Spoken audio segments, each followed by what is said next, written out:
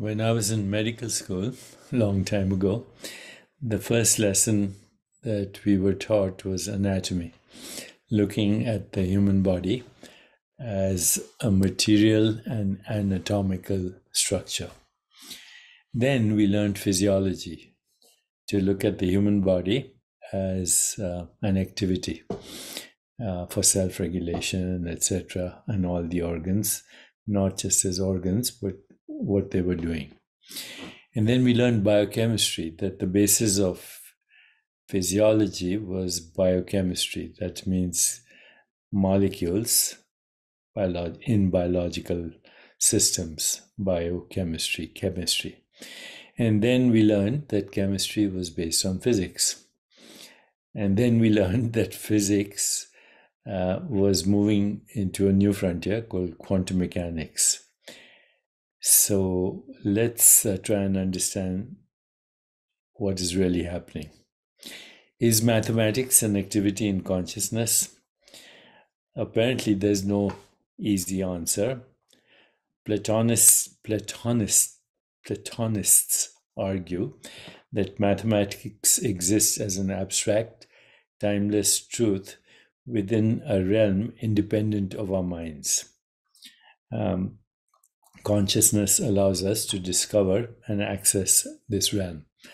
So, in other words, mathematics happens in consciousness.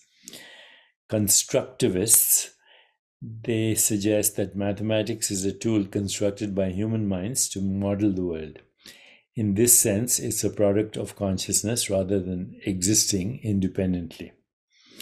Then there's a whole philosophy called embodied cognition, this perspective proposes that our understanding of mathematics is rooted in our physical experiences and sensory motor interactions with the world. Consciousness intertwined with our bodily perceptions shapes how we do math. Bodily perceptions are also in consciousness. Um, is theoretical physics based mostly on mathematics? Absolutely. Mathematics is the language of theoretical physics. It provides precision, mathematical equations, quantify relationships and phenomena with unambiguous accuracy. Prediction mathematical models allow physicists to predict behaviors of systems before experiments are even performed.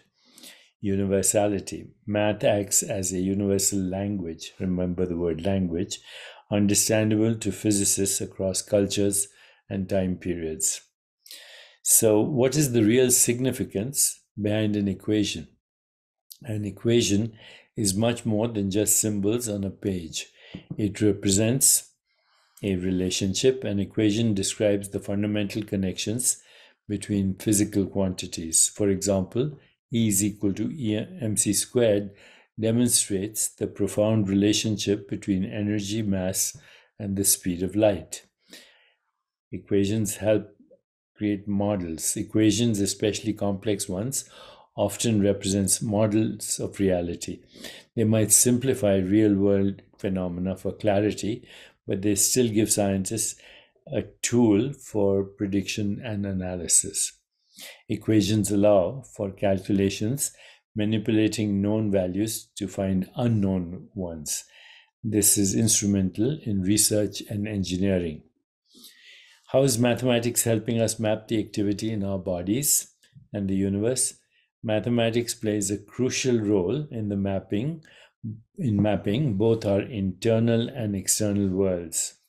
Medical imaging, CAT scans, MRIs use complex mathematical algorithms to reconstruct 3D images from raw data.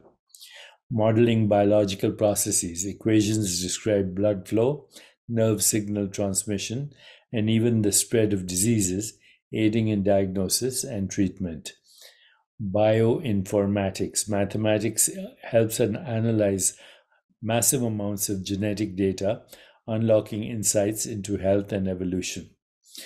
As far as the universe is concerned, mapping stars and galaxies. Trigonometry and calculus are essential tools for measuring distances and motions of celestial bodies. Uh, mathematics describes cosmic forces, gravity, electromagnetism, and the fundamental forces of nature are governed by mathematical laws. And mathematics predicts cosmic events. Calculations allow us to predict eclipses, planetary orbits, and even potential asteroid impacts. So, what is mathematics? An activity in consciousness that governs the rules of the universe and the body, the biological organism that is connected to the universe. An activity in consciousness. This is how consciousness conceives, governs, constructs, and becomes the human universe. Amazing, isn't it? And that consciousness is infinite, borderless, uh, without form, irreducible, fundamental, without cause, eternal, timeless. It's the infinite being, and beyond all modes of perception and knowing, it is the real you.